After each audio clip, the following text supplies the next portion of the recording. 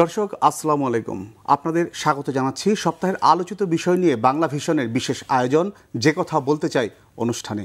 আপনাদের সঙ্গে আছি আমি জিয়া খান। দর্শক, আপনারা জানেন এই অনুষ্ঠানের মাধ্যমে আমরা সমসাময়িক বিভিন্ন বিষয় নিয়ে আলোচনা করে থাকি। আজ আমাদের আলোচনার বিষয়, ভর্তি ও নিয়োগ পরীক্ষায় প্রশ্নপত্র ফাঁস। আর বিষয়টি নিয়ে আলোচনার জন্যে আমার সঙ্গে স্টুডিওতে উপস্থিত রয়েছেন দুইজন অতিথি। তারা হলেন এ কে এম হাফিজ আক্তার, অতিরিক্ত police commissioner, Dhaka metropolitan police এবং সালমা আক্তার, অধ্যাপক সমাজবিজ্ঞান বিভাগ, ঢাকা বিশ্ববিদ্যালয়। আপনাদের দুজনকে স্বাগত জানাচ্ছি। দর্শক, প্রথম শ্রেণি ভর্তি পরীক্ষা থেকে শুরু করে সবকটি ভর্তি পরীক্ষার আগে প্রশ্নপত্র ফাঁস বর্তমান সময়ের একটি সাধারণ ঘটনা। ঠিক নিয়োগ পরীক্ষার আগেও একইভাবে এই ঘটনা ঘটছে। ধরাও পড়ছে অপরাধীরা। তারপরও থেমে নেই অপরাধীদের প্রশ্নপত্র ফাঁসের এই মহোৎসব। আমি আলোচনার শুরুতেই এ কে এম হাফিজ আক্তারের কাছে জানতে চাইব, কেন বন্ধ হচ্ছে না এখন এই প্রশ্নপত্র ফাঁসের এসব ঘটনা? ধন্যবাদ আপনাকে। আমাদের এই দেশটা আসলে আমরা জানি খুব পপুলেশনের দিক দিয়ে অত্যন্ত জনগণের সংখ্যা অনেক বেশি। আর সেটা ভর্তি পরীক্ষা বলেন, আর নিয়োগ পরীক্ষাই বলেন। দেখা গেল প্রচুর লোক পরীক্ষা দিচ্ছে, বিশেষ করে নিয়োগ পরীক্ষায় অল্প কিছু সংখ্যক লোক পরীক্ষায় উত্তীর্ণ হয়ে হয়তো বা তার কাঙ্ক্ষিত চাকরি পায়। আর ভর্তি পরীক্ষার বেলাও সেই প্রচুর স্টুডেন্টরা পরীক্ষাতে ভর্তিতে কিছু সংখ্যক ছেলেরা সেখানে চান্স পাচ্ছে। তো যেন তেনভাবে একটি প্রক্রিয়াতে চলে যায় যাতে তার সন্তানটি পরীক্ষায় উত্তীর্ণ হয় অথবা রিক্রুটমেন্টে যেটা হলো যে নিয়োগে সে চান্স পেয়ে চাকরি পায়, এরকম বিষয়। এটা যে অসাধু উপায়, সেটা অবলম্বনটাই আসলে প্রশ্নপত্র ফাঁস হলো সেটার একটি কারণ। তো প্রশ্নপত্র ফাঁস সেটি নতুন কোনো ঘটনা নয়। এই দেশে বলা হয় আগে যেটা আমরা দেখতাম যে মিতের মতো যে ওর মামা থাকলে চাকরি পাওয়া যায় বা কিছু অর্থ খরচ করলে চাকরি পাওয়া যায় তো বর্তমানে যেটা হলো যে সরকারের একদম জিরো টলারেন্স এই বিষয়গুলিতে এবং আমরা যেহেতু সরকারি সংস্থা, আমাদের উপর দায়িত্ব হলো যে আপনি দেখেছেন ইতিমধ্যে পুলিশের চাকরিগুলিতে কিন্তু খুব জিরো টলারেন্সই দেওয়া হয়।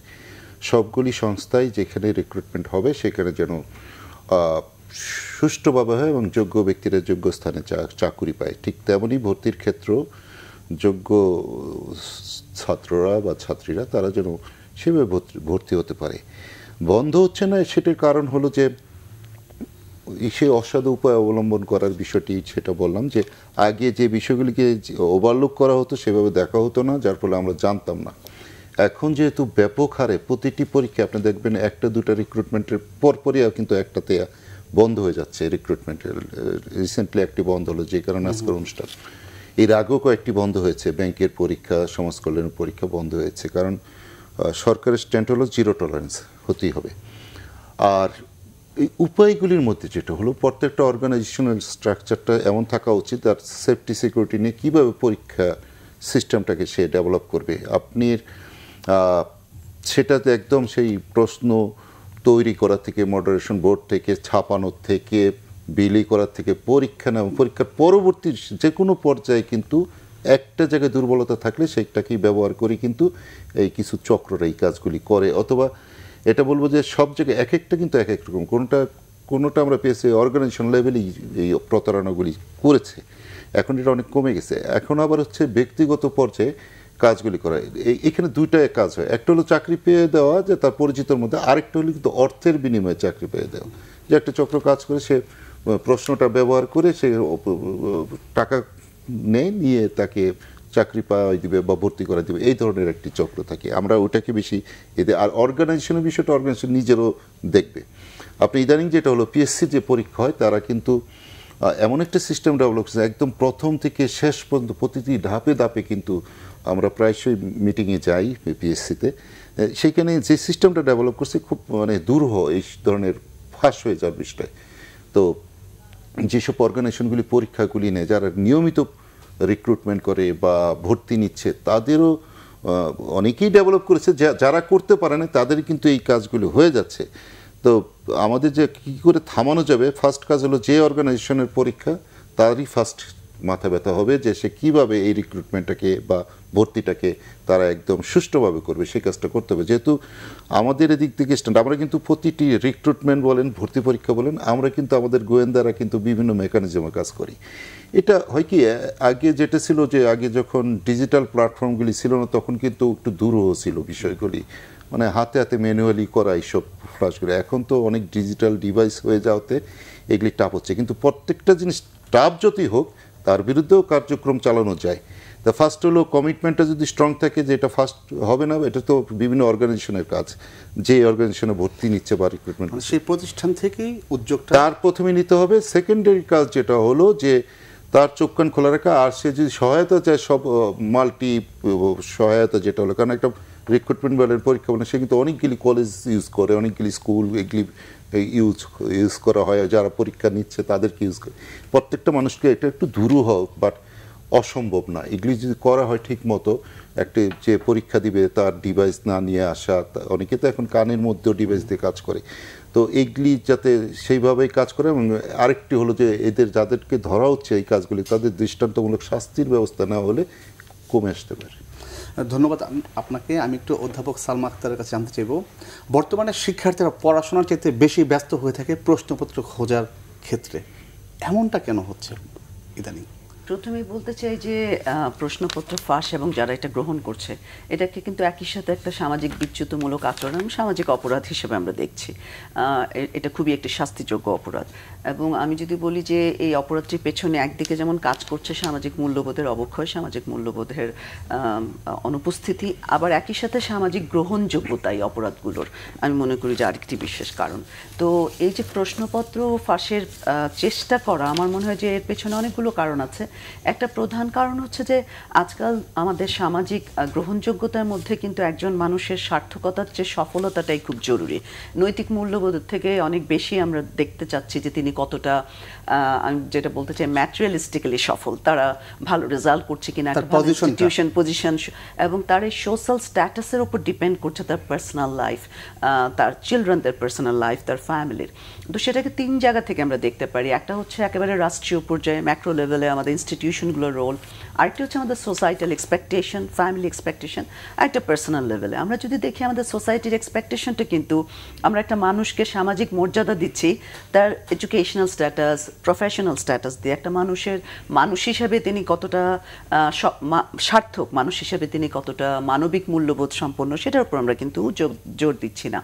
এবং পার্টিকুলারলি কিছু শিক্ষা প্রতিষ্ঠান, কিছু সামাজিক প্রতিষ্ঠান, কিছু প্রফেশনকে আমরা একটা হায়ার ভ্যালু দিচ্ছি সোসাইটিতে একটা হায়ারার্কিক্যাল স্ট্যাটাস তৈরি করছি তাদের জন্য। তো সেটা কিন্তু তাদের উপর এক ধরনের সামাজিক চাপ তৈরি করছে, যে সেই জায়গায় পৌঁছাতে পারলে তিনি একজন সফল মানুষ, সার্থক মানুষ। সেটা তার পরিবারের উপর চাপ তৈরি করছে, তার নিজের ব্যক্তি জীবনের উপর চাপ তৈরি করছে।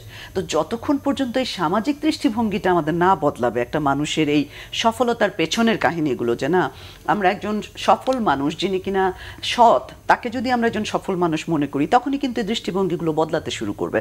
তখন একজন মানুষ কিন্তু একটা প্রশ্নপত্র ফাঁসের পেছনে দৌড়াবেন না। তিনি একজন সৎ মানুষ হওয়ার চেষ্টা করবেন, যেটা আমাদের শৈশবে আমরা দেখেছি। একজন সৎ মানুষের খোঁজে আমরা বেরিয়েছি। এখন কিন্তু আমরা বেরোচ্ছি হচ্ছে একজন সফলতার পেছনে। তো সেই সফলতার কাহিনীটা আসলে খুব পঙ্কিল হয়ে যাচ্ছে যখন এটা হচ্ছে। আরেকটি হচ্ছে যে, যেটা একটু আগে বলছিলাম, সামাজিক গ্রহণযোগ্যতা তৈরি হয়ে যাচ্ছে। যারা এই অপরাধগুলো করছে, তারা করে এটা পার পেয়ে যাচ্ছে এবং এক দুই বছর পরে সবাই কিন্তু ভুলে যাচ্ছে। তারা কীভাবে এই স্ট্যাটাসটা অ্যাচিভ করেছে। তো সেদিক থেকে খুব ভাই যেটা বলছিলেন যে খুব স্ট্রং একটা সিস্টেমের মধ্যে দিয়ে যদি নেওয়া যায় প্রিভেনশন অবভিয়াসলি যাতে করে সিস্টেমটা এরকম হয় যে এই অপরাধগুলো সংঘটিত না হতে পারে। সেক্ষেত্রে আমার মনে হয় যে একটা হতে পারে কিন্তু খুব ভালো ট্রেনিং প্রোভাইড করা। আমি খুব ছোট্ট একটা এক্সাম্পল দেবো যে ছাত্ররা যখন বিশ্ববিদ্যালয়ের পরীক্ষাগুলো দিয়ে বের হয়, আমি রাস্তায় খুব গল্প করতে শুনি, তারা বলে যে ঢাকা বিশ্ববিদ্যালয়ের শিক্ষকরা খুব কড়া, ঘাড় ঘুরাতে দেননি হ্যাঁ? ওই কলেজের টিচাররা খুব ভালো ছিলেন, গল্প করতে দিয়েছেন। তো এটা কিন্তু তার কাছে একটা ভালো বিষয়, কিন্তু এটা যে আসলে একটা অপরাধ, আমরা যে তার জন্য মানবিক মূল্যবোধ সম্পন্ন মানুষ হওয়ার জন্য এটা করছি এবং অন্য একটি মানুষকে অযাচিতভাবে সুযোগ থেকে বঞ্চিত করে যে যিনি যোগ্য না হন, তাকে যে সুযোগ দেওয়াটা উচিত নয় এই মূল্যবোধটা তৈরি করা সবার মধ্যে। তো এটা আমার মনে হয় যে তাদের পাঠ্য বই শিক্ষা মানে শিক্ষা ব্যবস্থার মধ্যে নিয়ে আসা এবং আমরা যারা এটার সাথে জড়িত আছি এই পরীক্ষাগুলোর সাথে তাদের একটা ট্রেনিং মোরাল এবং টেকনিক্যাল দুদিক থেকেই। ধন্যবাদ আপনাকে। হাফিজ ভাই এ- পর্যন্ত যাদেরকে আপনারা গ্রেফতার করেছেন আমরা দেখেছি এখানে জনপ্রতিনিধি আছে দুদক কর্মকর্তা আছে ব্যাংকার রয়েছে শিক্ষক রয়েছে রিসেন্টলি আপনি মাওসির একজন যার নাম আসছে আর কি। আপনাদের তদন্তে। তো এরা কেন জড়াচ্ছে শুধু কি টাকার জন্যে নাকি? এরা এরা আসলে এর পিছনে কীভাবে তারা জড়িত? তার দেখা গেল যে আমরা এক একটার তো এক একটি কারণ। আপনি যেটা বলতে চাচ্ছেন যে সমাজের রেসপন্সিবল লোকগুলি এই কেন এই ধরনের অপরাধে জড়িয়ে যাচ্ছে? এটির একটি বিষয় হলো তার খুব ক্লোজ কাউকে সে চাকরি পেয়ে দিবে একটা বিষয়। আবার দু একটা ক্ষেত্রে দেখেছি যে অর্থের বিনিময় হয়েছে। তো এক একটার কাহিনী তো এক এক রকম।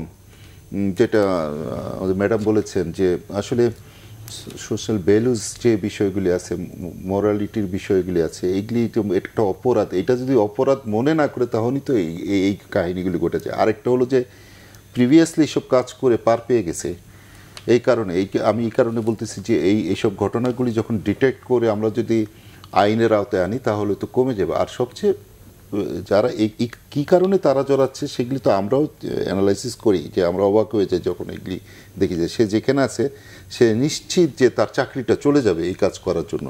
সরকারি কোনো কর্মকর্তা এই ধরনের কোনো অপকর্মের সাথে গেলে সে চাকরি চলে যাবে, তার ফ্যামিলি একটি খুব খারাপ জায়গায় যাবে এবং সে নিজে সামাজিকভাবে খুব নিগৃহীত অবস্থায় যাবে। তারপরে এই রিস্কগুলি নেয় তো এই রিস্ক না নেওয়ার জন্যই কিন্তু আমরা বারবার অভিযান চালিয়ে সাধারণ লোক একটা অপরাধ করলে যতটুকু না আমরা তার একটি মানে তার তো সামাজিক সেভাবে ই হয় না কিন্তু একটা সরকারি কর্মকর্তা বা একটি রেসপন্সিবল লোক যদি এগুলি করে সে তো একটি খারাপ একটি জায়গায় চলে যায়। তো এগুলি আসলে কমে যাবে আস্তে আস্তে কিন্তু এই এই বিষয়গুলি যে ধরা হচ্ছে এটা কিন্তু খুব আগে তেমনভাবে ধরে না। বিগত ইদানিং ইদানিং কালে কয়েক বছর ধরে বিশেষ করে আমরা আমরা বলব যে আমরা ডিএমপি ডিবি সাম্প্রতিককালে একটার পর একটা ঘটনা কিন্তু আমরা ধরছি যে একটা পাচ্ছি না ছুটে গেছে। আবার আমরা এটাও দেখি যে আমরা মূলত দেখি যে আমাদের উদ্দেশ্য থাকে একটা, যে এই পরীক্ষাটা থেকে ভালো লোকগুলি বেরিয়ে আসুক আর এটা কতটুকু এটা ছড়িয়েছে, যে একটা লোক যদি তার নকল করে অনেক সময়, তাকে এক্সপেল করে দিল। এটা কিন্তু আদিকাল থেকে হয়ে আসছে। সে যদি নকল করেই হয়ে যেত, দেখা গেলো সে খুব ভালো একটা চাকরি পেয়ে যেত বা একটা ভালো রেজাল্ট করতে পারতো, পার পেয়ে গেলে। ধরা পড়লেই তো সে এক্সপেল হচ্ছে, না হলে তো হয়ে যাচ্ছে। তো এরকম একটা দুইটা পেলে কিন্তু আমরা সেটা ফ্লাশ করি না। যখন মনে হচ্ছে যে একটা সমাজের জন্য একটা খুব খারাপ একটা সংকেত। হ্যাঁ তখন কিন্তু আমরা এটা সংশ্লিষ্ট অর্গানাইজেশনের সাথে আলাপ করে তারা তখন কনভিন্স হয় যে আমরা যেগুলি ধরেছি ঠিক আছে তখন তারা অর্গানাইজেশনরা এগুলিকে পরীক্ষা বাতিল করে। বাট এটাতে দেখা গেল যে আমরা আপনি যেটা বলছেন সেটা সত্য যে অনেক রেসপন্সিবল লোকরা জড়িয়ে যাচ্ছে। তো এটি সেই অর্গানাইজেশনের ভিতর থেকেও কিন্তু অনেক লোক জড়িয়ে যায় অনেক সময়। এটা আমরা বিভিন্ন সময় তাদেরকে জানিয়ে দিই, তারা হয়তো ডিপার্টমেন্টাল অ্যাকশন নেয় যে পরবর্তী পরীক্ষা ঠিকমতো হয়। আর প্রত্যেকটা ক্ষেত্রে, পরীক্ষার প্রত্যেকটা ক্ষেত্রে উনি টিচার আমাদের শ্রদ্ধেয় শিক্ষক উনিও জানেন যে প্রত্যেকটা ক্ষেত্রে কিন্তু এগুলি সিকিউরিটি কীভাবে নিতে হবে, কীভাবে কাজ করতে হবে, এটা ডিপার্টমেন্টের এগুলি একটা স্ট্রাকচার দ্বারা করানো উচিত। তাহলে হয়তো এগুলো কমে যাবে। সেটা সময় এসে গেছে আমাদের আসলে এই এটা বিষয়টা হতেই হবে। রোধ করার জন্য। আমরা দেশ উন্নত হব আর। এগুলি চালিয়ে যাব তাহলে তো হবে না। হবে না। অধ্যাপক সালমা আক্তার যারা এখন সমাজে জড়াচ্ছে আপনি তো শুনলেন যে কোন কোন স্ট্যাটাসের লোকজন এখন প্রশ্নপত্র ফাঁসের সঙ্গে জড়িত। আমাদের সমাজে কি এতটাই পচন ধরেছে যে তাদেরকে এই এখানে এসে জড়াতে হলো? বিষয়ে আপনি আসলে দুটো বিষয়। একটু আগে যেটা বলছিলাম যে অনেক সময় সামাজিক পারিবারিক চাপ থাকে। যখন ভর্তি পরীক্ষাগুলো শুরু হয় প্রতি বছর কিন্তু অসংখ্য মানুষ আমাদের আমাদের কাছে আসেন। প্রতিবেশী আত্মীয় স্বজন তাদের আত্মীয়দেরকে ভর্তি করিয়ে দেওয়া যায় কিনা। আমরা যখন বলি যে আমাদের শিক্ষকদের আসলে কিচ্ছু করার নাই অনেকেই কিন্তু এটা একদমই বিশ্বাস করেন না। আমাকে প্রচুর চাপ দেন যে কোনোভাবে কোনো চ্যানেল তাদেরকে ধরিয়ে দেওয়া যায় কিনা। তা আমি যখন বলি আমার কোনো ধারণা নাই এই ধরনের কোনো চ্যানেল আসলে আছে কিনা আর আমি আসলে ধারণা রাখতে চাই না আমি আশা করি যে ধরনের কোনো চ্যানেল নেই। তাহলে এই যে আমাদের একটা এক্সপেকটেশন যে কোনোভাবেই হোক সেখানে পৌঁছে যাওয়া। এবং এটা যেটা ইন্ডিকেট করে যে এটা খুব একটা মাস লেভেলে আমাদের একটা পছন্দ ধরেছে মানসিকতায়, যে আমরা যেন তেনভাবেই এই সফলতাটা চাই। এবং সবচেয়ে দুর্ভাগ্যজনক হচ্ছে যখন পিতামাতারা এসে সন্তানের জন্য এটা চান। আমি যখন তাদেরকে বলি যে, আমার বাবা মা আমাদেরকে সারা জীবনই শিখিয়েছেন যে কোনোভাবেই সৎ পথ ছেড়ে কিছু করা যাবে না। যেটা তুমি অ্যাচিভ করো, তোমার মতো করে করো। আমার সন্তানকে আমি সেটাই শিখাই যে অনেস্টি দিয়েও যেটা অ্যাচিভ করতে পারো। ও এ গ্রেড পাচ্ছে কিনা আমি কিন্তু জানতে চাই না। আমি ওকে বলি নেভার ডু চিটিং ও আমাকে বলে যে আই ডোন্ট ডু চিটিং তো আপনি আপনার সন্তানকে সেটাই শেখান, সে যেটা ডিজার্ভ করে। আর দ্বিতীয়ত ইউ ফেস ইট তো আমার কাছে মনে হয় যে, একটা হচ্ছে তাদের উপর পারিবারিক চাপ থাকে, সামাজিক চাপ থাকে। তুমি কি করছ? আমাদের এক বন্ধু, তিনি মাত্র নতুন বিয়ে করেছিলেন। তো তার ইন লজরা পরীক্ষা দিচ্ছে, তিনি এসে বলছিলেন, দেখেন, আমার শ্বশুরবাড়ির লোকজন বিশ্বাস করছে না যে, আমি এটা হেল্প করতে পারছি না। এই যে আমাদের একটা সোশ্যাল এক্সপেকটেশন আর দ্বিতীয়টা হচ্ছে অবশ্যই অর্থনৈতিক এবং সামাজিক প্রতিপত্তির বিষয়। আরেকটা হচ্ছে সিস্টেম হয়তো সিস্টেমটা এরকম তিনি যেই জায়গায় আছেন তার জন্য আসলে এটার মধ্যে ইনভলভ না হয়ে হয়তো সুযোগ নেই তার উপর হয়তো চাপ আছে আমি জানি না। কি রিজন তারা এটা বলতে পারবেন? কিন্তু ওভারঅল ইস্যুটা হচ্ছে আসলে এটা একটা ক্রাইম অ্যাকসেপ্টেবল না। এটা তাদেরকে বুঝতে শেখানো যে তিনি যেই হন না কেন যত ক্ষমতাধরই হন না কেন এটা একটা আনএক্সেপ্টেবল বিহেভিয়ার এবং এটা সোসাইটির জন্য একটি ভয়াবহ রকম ব্যাধি এটা ক্যান্সারের মতো একটা ব্যাধি। আমাদের সমাজকে আমরা পচিয়ে ফেলছি সেটা আমরা করতে পারি না যে যেখানেই থাকি না কেন। আমার একটু ই থাকে একটু বলা যাবে? যে আমি ওই রিক্রুটমেন্টের বিষয়টা বাদ দিলাম। ভর্তির ক্ষেত্রে যেটা দেখি যে আমরা প্রায়শই সাইবার জগতে দেখি যে এই বিভিন্ন ধরনের করে আমরা ধরেছি।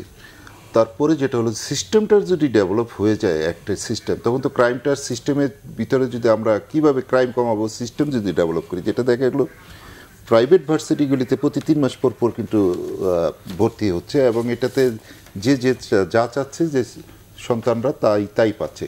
কিন্তু পাবলিক ভার্সিটিতে বছরে একবার বা সেই এসএসসি পাশের পরে যখন হয় তখনই কিন্তু এই সুযোগগুলি মানে তার বাংলাদেশে এটা হচ্ছে যে যে যেটা চায় সেটা পায় না। যে ডাক্তার হতে চায় সে পারে না যে কমার্সে পড়তে চায় সে পারে না আর্টসে চলে যাচ্ছে।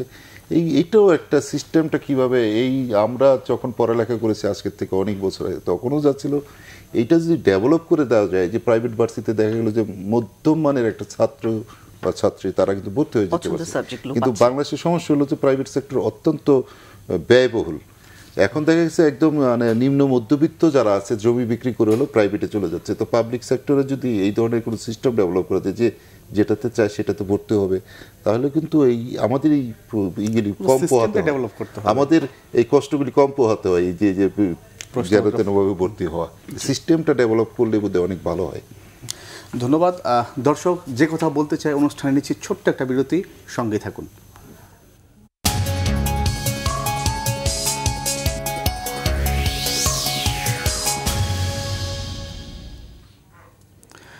দর্শক, বিরতির পর আবারও স্বাগত জানাচ্ছি। যে কথা বলতে চাই অনুষ্ঠানে, আমরা কথা বলছিলাম ভর্তি এবং নিয়োগ পরীক্ষার প্রশ্নপত্র ফাঁসের বিষয়ে। অধ্যাপক সালমা আক্তার যদি একটু বলতেন হাফিজ আক্তার ভাই একটু যে বিষয়টা বললেন আর কি যে আমাদের যে ভর্তি এক সাবজেক্টে হচ্ছে পড়াশোনা করতেছে তার ইচ্ছার বিরুদ্ধে গিয়ে সে পড়াশোনা করতে বাধ্য হচ্ছে। এই যে ফ্যাক্টরটা এটা আমাদের জব মার্কেটও তো আমাদের এটার একটা ই পড়তেছে প্রভাব পড়তেছে। যে এডুকেশন ব্যবস্থার যে আমাদের ত্রুটিটা সেটা আসলে কীভাবে আমাদেরকে মানে উত্তরণ করা যায় আমাদের? জি। থ্যাংক ইউ আমার কাছে মনে হয় হাফিজ ভাই একটা চমৎকার ইস্যু নিয়ে এসেছেন। এটা নিয়ে প্রায় বলি দুটো ব্যাপার। একটা হচ্ছে আমাদের বাচ্চাদের কিন্তু আমরা খুব কেরিয়ার কাউন্সেলিং করি না স্কুল কলেজ লেভেলে যে ওরা কিন্তু জানে না কোন সাবজেক্ট পড়ে তারা কি করবে বা কোন সাবজেক্টে সে কতটা ভালো। স্কুল কলেজে মোস্টলি প্যারেন্টসরাই ঠিক করে দেয়। সেই সাবজেক্ট পড়বে, সেটা সে পড়ে। বিশ্ববিদ্যালয়ে এসে আমাদের সিস্টেম অনুযায়ী যেই সাবজেক্টটা সে পায়, তাদের একটা চয়েস থাকে, কিন্তু অনেক সময় দেখা যায় সে তার নিজের চয়েস অনুযায়ী সাবজেক্টটা পাচ্ছে না। তো তাতে করে যেটা হয় যে একটা দুটো বছর চলে যাওয়ার পরে যতদিনে তার সাবজেক্টটা ভালো লাগতে শুরু করে তার রেজাল্টটা আশানুরূপ থাকে না। ততদিনে সে আগ্রহটা হারিয়ে ফেলে। তৃতীয়ত হচ্ছে আমাদের জব মার্কেটের সাথে আমাদের এডুকেশন সিস্টেমটা খুব ম্যাচিং না। যে যে সাবজেক্টটা পাস করছে, অনেকগুলো সাবজেক্টেরই কিন্তু জব মার্কেটের সাথে ম্যাচ নাই। আপডেটেড না আমাদের সিলেবাস অথবা জব মার্কেট যেখানে চলে যাচ্ছে সেটার সাথে আমরা যে খুব রিসাফল করছি সেটা করতে পারছি না। তো তাতে করে যেটা হচ্ছে যে খুব হ্যান্ডস অন যেই শিক্ষাটা সেটা তারা করতে পারছে না। এবং ছাত্ররা বিসিএস এর দিকে বেশি ঝুঁকে যাচ্ছে। এটা নিয়ে কিন্তু এখন ছাত্র শিক্ষকের মধ্যে এক ধরনের খুব আমি বলব যে খুব মানসিক দ্বন্দ্বই চলছে বলা যায় যে আমরা খুব মন খারাপ করি, ছাত্ররা পড়াশোনা করে না, তারা মন খারাপ করে যে এই সাবজেক্টে পাশ করে আমি কি করব।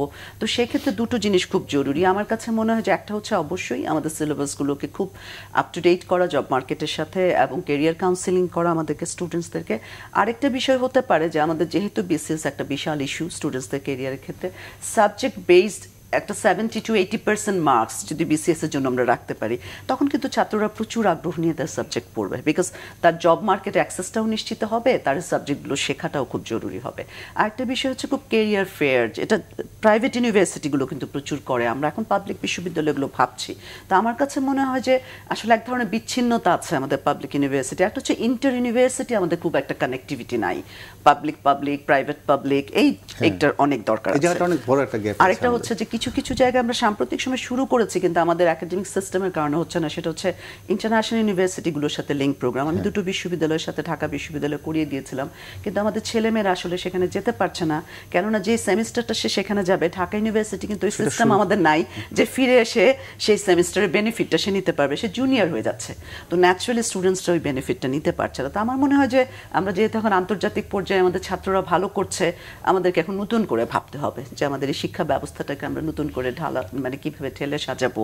একই সাথে জব অনেকে হয়তো মনে করেন যে জবের জন্য এডুকেশন না। অবভিয়াসলি সেটা একটা ইস্যু বাট তাদের তো after all career counselling career choice এই ইস্যুগুলো তাদের সামনে প্রেজেন্ট করতে হবে। যে আমি একটু করি এটার সাথে যে আমরা তো আসলে এই আমার দীর্ঘ চাকরি জীবনে আমরা এখন যাদের পাই আমাদের জুনিয়রদের তারা তো বিভিন্ন বিশ্ববিদ্যালয় বাইশের থেকে পড়ে আসে কলেজ বিশ্ববিদ্যালয়। তাই কয়েকটা জিনিস জবের জন্য পড়ালেখা না আবার জীবনের জন্য, তো পড়ালেখার জবটাও জীবনের জন্য। তো আমরা দেখি ইন্টারন্যাশনালি বা বাংলাদেশে আমাদের যদি এখন তো অনেক মডার্ন হয়ে গেল আমাদের আমল থেকে, তো এখন যদি ওদেরকে যে ল্যাঙ্গুয়েজ ল্যাব তারপরে এক্সটেম্পোরি ডিবেট ক্লাব এইগুলি যদি কম্পালসারি করা না হয়, তাহলে ইন্টারন্যাশনাল যারা, তারা বিভিন্ন দেশে, বাংলাদেশ প্রতিনিধিত্ব করে, বিভিন্ন দেশে যায় বাংলাদেশের চাকরির ক্ষেত্রে। এ পিছিয়ে যাচ্ছে। শুধুমাত্র বুকিশ না হয়ে এক্সটার্নাল বিষয়গুলিতেও কিন্তু একটা অনেকটা বলব যে ট্রেনিং এর মতো করে যদি ইউনিভার্সিটি থেকে আসে তাহলে বোধহয় আমাদের জবে এগুলি আর একটু স্মার্ট একটা আমাদের ইউনিভার্সিটিগুলোতে আসছে কিন্তু সেটা ভলান্টারি পার্ট অফ এডুকেশন না। ছাত্ররা যায় ডিফারেন্ট ক্লাবসগুলোতে ইন্টার ইউনিভার্সিটি আমাদের যে গ্যাপটা রয়েছে সেই লিঙ্ক আপটা আসলে কীভাবে করা যায়? সেটা যদি একটু আমার মনে হয় যে দু তিন ভাবে করা যেতে পারে। একটা হচ্ছে যে আমরা টিচাররা শুধুমাত্র কিন্তু এক্সাম রিলেটেড অ্যাক্টিভিটিসগুলোতে পার্টিসিপেট করি ইন্টার ইউনিভার্সিটিতে খুব মাঝখানে একটু আমরা কিছু করছিলাম ইউজিসি একটা প্রোগ্রাম অনুযায়ী যে ডিফারেন্ট ইউনিভার্সিটির সিলেবাসগুলোকে আপগ্রেডেড করা এবং হচ্ছে যে আমাদের কোশ্চেনের প্যাটার্নগুলো কীরকম হবে সেটা নিয়ে কথা বলা। কিন্তু অ্যাজ সাচ আমরা যখন সিলেবাস ডেভেলপ করি, সেটা যারা কিনা প্রোভাইডার আছেন মার্কেটে তাদের সাথে কিন্তু আমাদের খুব একটা কানেক্টিভিটি নাই একাডেমিয়া মার্কেট এই জায়গাটা আমাদের বিশাল গ্যাপ আছে। পার্টিকুলারলি সোশ্যাল সায়েন্সে নাই বললেই চলে। আমাদের সোশ্যাল সায়েন্সের ছাত্রদের কোথায় কেরিয়ার চয়েস আছে, কোথায় কেরিয়ার অপরচুনিটি আছে ইন্টার্নশিপ আছে কিনা? এই কাউন্সেলিংগুলো কিন্তু আমরা টিচাররাও পাই না, ছাত্ররাও পাই না। তো যদি আমরা ডিফারেন্ট ইউনিভার্সিটিগুলোতে একটা হতে পারে ওয়ান্স ইন এ ইয়ার অথবা সিক্স মান্থসে কেরিয়ার ফেয়ার হতে পারে কনফারেন্সেস এরকম একটা কনফারেন্স যেটা career build up related conference যেখানে ইয়াং টিচাররা যেতে পারে স্টুডেন্টসরা যেতে পারে তারা সেখান থেকে দেখতে পারে যে তাদের ইউনিভার্সিটি যে লিঙ্ক প্রোগ্রামগুলো আছে সেগুলো কীভাবে কাজ করছে তাদের ছাত্ররা যে স্কলারশিপগুলো নিয়ে যাচ্ছে সেখানে কি ধরনের অপরচুনিটিসগুলো আছে। এবং হচ্ছে আমরা যদি সেখানে ইনভাইট করি যারা সার্ভিস প্রোভাইডার্স আছেন জব প্রোভাইডার্স আছেন তারা কিন্তু এসে সাজেস্ট করতে পারে যে আমাদের গ্যাপসটা কোথায়? আমাদের এই সিলেবাসটা নিয়ে আমাদের ছাত্ররা আগাতে পারছে না কেন? অথবা আমাদের টিচারদের কি করার আছে ছাত্রদেরকে কাউন্সেলিং এর ক্ষেত্রে? আমাদের সবার মধ্যে এক ধরনের ফ্রাস্ট্রেশন কাজ করে। আমরাও ভাবি যে আমরা বেস্টটা পাচ্ছি না ছাত্ররাও হয়তো ভাবছে তারাও বেস্টটা পাচ্ছে না। আমরা কিন্তু সবাই বেস্টটা দেওয়ার চেষ্টা করছি। তো আমার মনে হয় যে ইউনিভার্সিটিগুলো জয়েন্ট প্রোগ্রাম কিছু। না সেটা একাডেমিক সেমিনার হতে পারে ডিসকাশন কেরিয়ার চয়েস এবং যে ডিবেটিং ক্লাব এই ধরনের ফান প্রোগ্রামগুলো হতে পারে। তাহলে হচ্ছে যে ছাত্ররা পরস্পরের সম্পর্কে জানতেও পারবে। আমার মনে হয় একটা চমৎকার বিষয় আমাদের কোভিডের সময় হয়েছে সেটা হচ্ছে আসলে ইন্টারনেট বেসড ডিসকাশনসগুলো ওয়েবিনার্সগুলো এটাকে যদি আমরা আরেকটু এনকারেজ করি এবং অনেক জায়গায় কিন্তু- অনলাইন সার্টিফিকেটস দেওয়া হয়েছে অনলাইন প্রোগ্রামগুলো স্টুডেন্টসরা অ্যাক্সেস করেছে ল্যাঙ্গুয়েজ শিখেছে অনেকেই। তো এই জায়গাগুলোতে স্টুডেন্টসদেরকে একটু এঙ্গেজ করা এবং একটু ফান্ড রেজ বাইরে কিন্তু প্রচুর ফান্ড রেজিং করেন টিচাররা ডিফারেন্ট ইউনিভার্সিটিগুলো আমরা কিন্তু ওই জায়গাটায় খুব একটা এখনও যেতে পারি তারপরে আমার মনে হয় যে রিসার্চ একটা জায়গায় আমরা অনেক পেছনে আছি রিসার্চ ফান্ড রেজ করা স্টুডেন্টদেরকে এঙ্গেজ করা সেই জায়গাগুলোতে টিচারদেরকে এঙ্গেজ করা। ধন্যবাদ আপনাকে। হাফিজ ভাই, আমি একটু আবার ওই প্রশ্ন ফাঁসে যাদেরকে আপনারা ধরেন, আপনারা প্রমাণ যাদেরকে আদালতে নিয়ে যান। এরা আবার জামিনে বেরিয়ে এসে আবারও একই কাজে জড়ায় পড়ে। এটা কেন হচ্ছে? আমাদের যাদেরকে ধরা হয়, এখন আমাদের যে আমরা ক্রিমিনালস নিয়ে যে কাজগুলো কিন্তু ডাটা বেস হয়ে যায় তো। ডাটা বেস হয়ে গেলে যেটা হয় যে, সে একবার যখন এই জায়গায় ধরা পড়ে গেছে আজীবন তাকে আমরা সার্ভিলেন্সে রাখি। যতদিনই থাকে। সুতরাং এইটা কোনো বিষয় না তো জামিন পাওয়ার অধিকারও তার আছে। তো নেক্সট ডে যাতে এই কাজগুলি করে কি করে না, সেগুলোর আমাদের মনিটরিং চলে। চলে বলেই কিন্তু আমরা একটা পর একটা পাই। একটা মানুষ দেখা গেলো আগেও দু একবার এই প্রশ্ন ভাষা আটক হয়েছিল। আমাদের মূল উদ্দেশ্য থাকে যে ওই ওই পরীক্ষাটাকে যাতে, যাদের ধরা হয়েছে, যাতে পরবর্তীতে এটা আরেকটু সুন্দর ফেয়ারভাবে হয়ে যাতে আমাদের যোগ্য যা যে যেখানে যোগ্য সেইভাবেই তার রিক্রুটমেন্ট বা ভর্তি হোক সেই বিষয়টি। আর এইগুলির জন্য কিন্তু খুব কঠিন কোনো শাস্তির ধারা নাই তেমন একটা। তো যতটুকু আছে সেটাও তো কম না যা যেভাবেই হোক আমরা বিচারের আওতায় আনি আর লম্বা টাইম থাকলে তখন তারা জামিন পেয়ে যায় হয়তো আবার করে। এটা তো বিচারিক ব্যবস্থার একটি আমাদেরই দুর্বলতা যে পানিশমেন্ট হতে অনেক দেরি হয় আবার করে। কিন্তু আমরা বসে নেই। আমরা কিন্তু সবসময় যখন একটা রিক্রুটমেন্ট হবে, যখন একটি ভর্তি হবে, বা এসএসসি এসএসসি পরীক্ষার সময় কোনো ধরনের ইয়ে হচ্ছে কিনা, অনেক সময় যে বলা হয় যে প্রশ্ন পাওয়া গেছে, এই মাঝে একবার হয়েছিল কয়েক বছর আগে, এখন আর এগুলি হয় না। প্রশ্ন পেয়ে আবার স্টুডেন্টরা এগুলি পরীক্ষার হলে পেয়ে যায় কমন পেয়ে যায় এইগুলি আর এখন হচ্ছে না। তো এই এই ধরনের চক্র যারা আছে, তাদের বিরুদ্ধে আমাদের অভিযান চলতেই থাকে। আপনারা ধরছেন, আপনি যে বিষয়ে বললেন যে আইনে তিন থেকে দশ বছর আইনে একটা শাস্তির বিধান রয়েছে কিন্তু এখনও পর্যন্ত আমরা একজনকে সেই শাস্তি দিতে আমরা দেখিনি। এই বিষয়টা আপা একটু যদি বলতেন, এই যে অপরাধী ধরতেছে আইনের মাধ্যমে সে আবার বেরিয়ে আসতেছে, কিন্তু তার যে শাস্তির যে বিষয়টা, যে দৃষ্টান্ত যেটা একটু হাফিজ ভাই বললেন আর কি, যে বিষয়টা, সেটা তো হওয়াটা অনেক জরুরি। কিন্তু এখন পর্যন্ত আমরা কিন্তু প্রশ্ন ফাঁসে সেটা দেখিনি। সেটাই কি অপরাধীকে উস্কে দিচ্ছে নাকি? আমার মনে হয় এটা বোধহয় সব ধরনের অপরাধের ক্ষেত্রেই বাংলাদেশে প্রযোজ্য। পার্টিকুলারলি আমরা যখন জেন্ডার বেসড ভায়োলেন্সগুলোর কথা বলি তখন কিন্তু প্রায়- প্রায়ই বলি যে কোনো ধরনের দৃষ্টান্তমূলক শাস্তি নাই বলেই কিন্তু বাকিরা খুব এনকারেজড ফিল করে। তো এটার একটা বড় কারণ হচ্ছে হাফিজ ভাই প্রথমে যেটা বলছিলেন যে আমাদের এত বেশি পপুলেশন সেই তুলনায় ইনস্টিটিউশনগুলো এত বেশি অপ্রতুল তাদের মানে ক্যাপাসিটি তো সেই ক্ষেত্রে স্যার অনেক দীর্ঘ সময় লেগে যাচ্ছে এক একটা শাস্তি বিধান নিশ্চিত করা প্রসেসের মধ্যে দিয়ে। তো সেদিক থেকে আমি জানি না যে অল্টারনেটিভসগুলো কি হতে পারে? একটা যেটা আমি বলছিলাম যে সোশ্যাল শেমিং আসলে ওই জায়গাটায় হয়তো আমরা কাজ করতে পারি। যে আমরা দেখেছি যে সামাজিক যোগাযোগ মাধ্যমগুলোতে আমরা অনেক কিছু সোশ্যাল ইনজাস্টিস থেকে কীভাবে সোশ্যাল জাস্টিস এনশিওর করা যায় সেই বিষয়গুলো নিয়ে কথা বলি। আমার মানে মনে হয় সেটা একটা ওয়ে হতে পারে। আইনটাকে আরও কঠোর করা দরকার নাকি? আমার মনে হয় কি বাংলাদেশে আইনগুলো কিন্তু কঠোরই আছে। ইমপ্লিমেন্টেশনে গিয়ে প্রবলেমটা তৈরি হয়। তো ইমপ্লিমেন্টেশনে একটা বড় সমস্যা হচ্ছে দীর্ঘসূত্রিতা। আর বড় সমস্যা হচ্ছে ইনস্টিটিউশনগুলো ভাই প্রথমে একটা কথা বলছিলেন যে যে ইনস্টিটিউশনগুলো জড়িত তাদের একটা লায়াবিলিটি আছে রেসপন্সিবিলিটি আছে।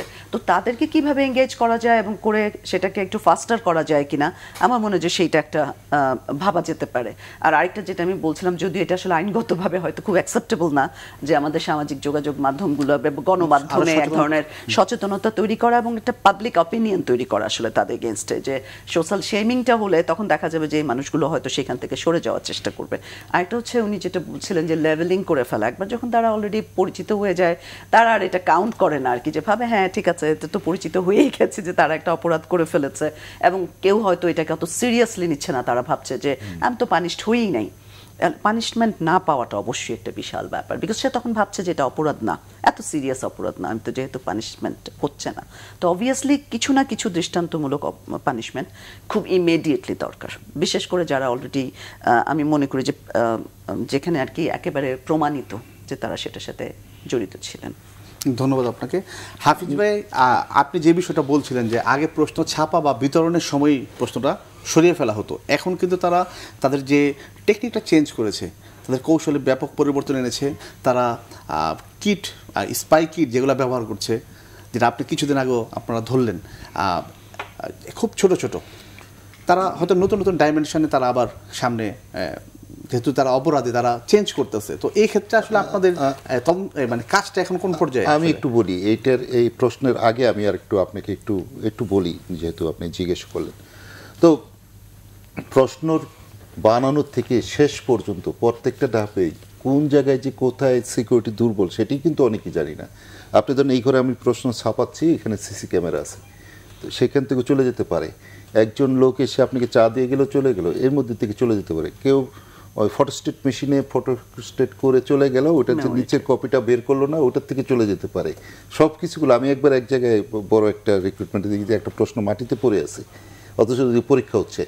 এই প্রত্যেকটা আবার যেখানে যাদেরকে নিয়োগ করা হয় যে প্রত্যেকটা পরীক্ষার হলে তাদেরকে ই দেওয়ার জন্য গার্ড দেওয়ার জন্য সে তাকে কঠোরভাবে বলা হলো সে হয়তো একটু রিল্যাক্টেন্ট মোডে থাকল।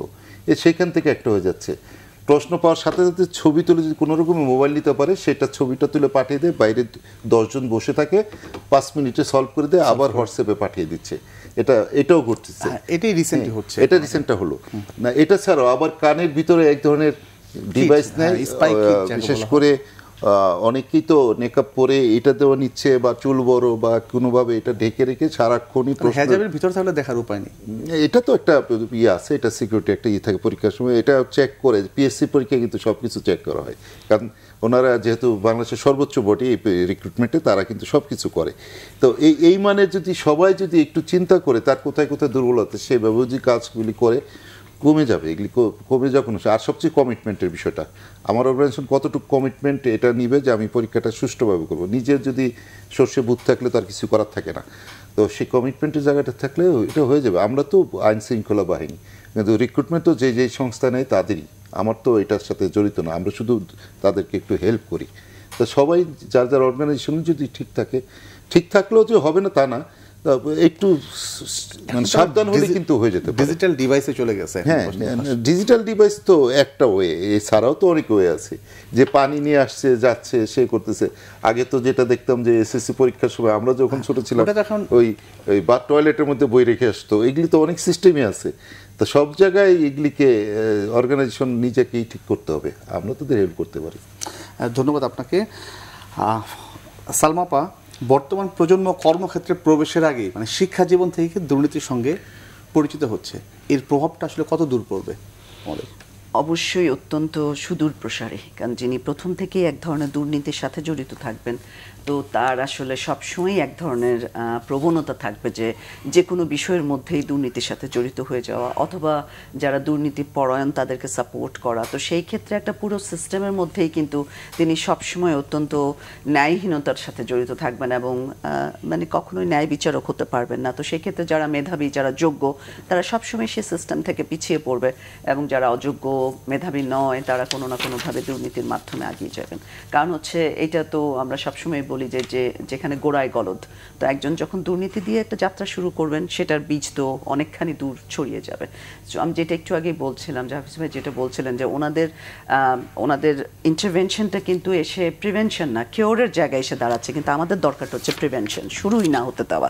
বিকজ শুরু হলে এটা অবভিয়াসলি বহু দূর পর্যন্ত যাবে। তো দুর্নীতিটা যেখান থেকে শুরু, সেখান থেকে যতটাখানি সম্ভব এটাকে প্রিভেন্ট করা যায়, সেই জায়গাটায় চেষ্টাটা করা। এটা সামাজিক দৃষ্টিভঙ্গি দিয়ে হোক, সামাজিক প্রতিষ্ঠান রাষ্ট্রীয় নীতি নির্ধারণ হোক অথবা আমাদের আইন এবং যেটা একটু আগে বলছিলাম সোশ্যাল শেমিং এক ধরনের সোশ্যাল অ্যাকসেপ্টেন্স থেকে বের হয়ে আসা যে না, অপরাধ অপরাধী, সেটা যদি আমার সন্তানও হয়, আমি তাকে ধরিয়ে দিব যে না, আমি কোনোভাবেই চাই না আমার সন্তান একটা অবৈধ পন্থায় এস্টাবলিশড হোক। তাকে এটা বোঝানো যে আমি সন্তান, বাবা মা হিসেবে এই প্রতিষ্ঠাতা চাই না। ধন্যবাদ আপনাকে। আমরা অনুষ্ঠানে একেবারে শেষ পর্যায়ে চলে এসেছি। হাফিজ ভাই যদি একটু বলতেন, প্রশ্নপত্র ফাঁস কিংবা বিতরণ যেমন অপরাধ ঠিক একইভাবে যারা প্রশ্নপত্র নিচ্ছেন টাকার বিনিময়ে হোক যাই হোক এদের ক্ষেত্রে আসলে আপনাদের কোনো ব্যবস্থা আছে নাকি? আমরা সেটা আসলে দেখি না আসলে। তাদের তো ধরা হচ্ছে আমরা যেটা ম্যাডাম বললেন যে প্রিভেনশনে না গেলে আসলে যখন এই কিউয়ের পর্যায়ে আসে তখন কিন্তু ব্যাপক একটা অর্থ কিন্তু যে হাজার হাজার লোক এসে পরীক্ষা দিচ্ছে পরীক্ষাটা বাতিল হলে সবার যে আসা যাওয়ার খরচ থাকার খরচ বা যে অর্গানাইজেশন এই কাজগুলি করছে তাদের যে খরচ হচ্ছে এটা একটু বিশাল একটা মানে মানে হ্যাফেজেট একটা কন্ডিশন হয়ে যায়। কিন্তু যারা এই নিচ্ছে, তারা তো অপরাধী। তারা তো তারাই আমার মূল এই অপরাধীর মানে সাসপেক্টের তালিকায় থাকে, যারা এই পয়সার বিনিময়টা করে। ওইটাই তো আমরা দেখি। ওদের কি ধরা হয় মূলত? আচ্ছা আর আপনার যদি একটু মানে শেষ দিকে তো আমরা যে অনেক অভিভাবকরা আমরা বলতে শুনি, সন্তানকে বলা হয়, পরীক্ষার আগের রাতে যে প্রশ্নপত্র ফাঁস হয়েছে, তুমি খোঁজো। এই ক্ষেত্রে আসলে কি বলবেন আপনি? যেটা আমি একটু আগেই বলছিলাম যে আমাদের আসলে অনেকগুলো কারণের একটা হচ্ছে অভিভাবকদের নিজস্ব দৃষ্টিভঙ্গি এবং তার উপরেই সামাজিক চাপের কারণেই তারা এটা করেন। তারা মনে করেন যে তার সন্তান প্রতিষ্ঠিত হোক এবং এই ক্ষেত্রে আমাদের খুব আমি যেটা একটু আগেই বলছিলাম যে আমাদের এক ধরনের সামাজিক সচেতনতা তৈরি করা যে আসলে এটা একটা অপরাধ। সামাজিক প্রতিষ্ঠা আমরা আমাদের সন্তানের জন্য অবশ্যই চাই কিন্তু আমাদের সন্তান অপরাধী হোক সেটা চাই না। এটা যে একটা অপরাধ সেটা অভিভাবকের জন্য হোক। কারণ আমার মনে হয় যে আমি এরকম সামাজিক যোগাযোগ মাধ্যমে একটা ছবি দেখেছিলাম যে একজন প্যারেন্ট তার চাইল্ডকে বলছে, ছবি কোথাও থেকে উনি পেয়েছেন, এটার একটা কপি বলছেন যে এটা দেখে নিতে। তো যিনি সাংবাদিক, তিনি খুব দুঃখ করে লিখছেন যে একজন প্যারেন্ট তার সন্তানকে এটা করতে বলছেন, তাহলে আমরা কোথায় যাব? তো অন্তত অভিভাবকদের কাছে আমার অনুরোধ, আমি নিজে একজন অভিভাবক, আমরা সবাই অভিভাবক, আমরা যেন কোনোভাবে আমাদের সন্তানদের অপরাধী না করি। তারা সফল হোক আমরা চাই, কিন্তু তারা সৎ মানুষ হোক, সেটা সবচেয়ে বেশি জরুরি। ধন্যবাদ আপনাদের দুজনকে বাংলা ভিশনের স্টুডিওতে আসার জন্য। আর দর্শক, যে কথা বলতে চাই আজ এ পর্যন্তই। আবার দেখা হবে আগামীকাল একই সময়ে। সবাই ভালো থাকুন, সুস্থ থাকুন।